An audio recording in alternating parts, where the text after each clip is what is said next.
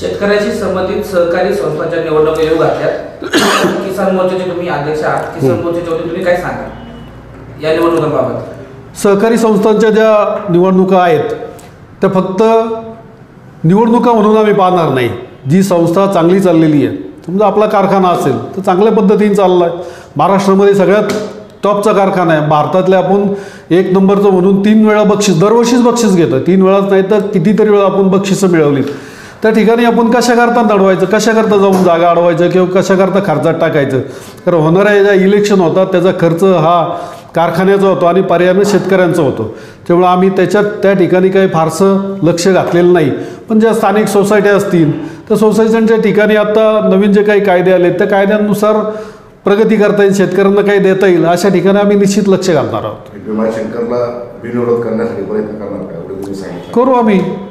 परिस्थिती चांगली आहे. शेतकऱ्यांना न्याय दिला जातोय. रेट चांगले दिले जातात. वेळेवरती पैसे दिले जातात.